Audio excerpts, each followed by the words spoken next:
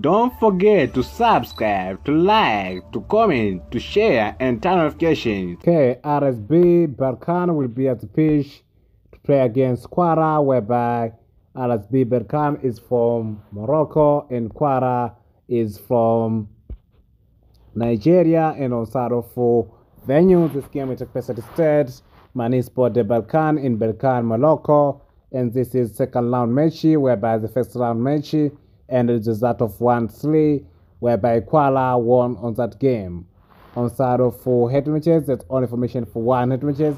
The games that ended the result of 3-1, whereby Kwara won on that game. On side of last matches for RSB Berkane, in the last games, RSB Berkane managed to win in one game, three loss, one draw, bad performance, whereby there's three Botola Pro League matches.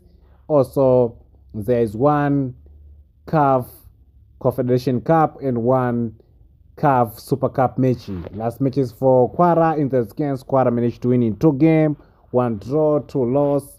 That is the model performance from Kwara, whereby there is three CAF Confederation Cup matches, there is one Nigeria Premier League matches, and one Aiteo Cup match.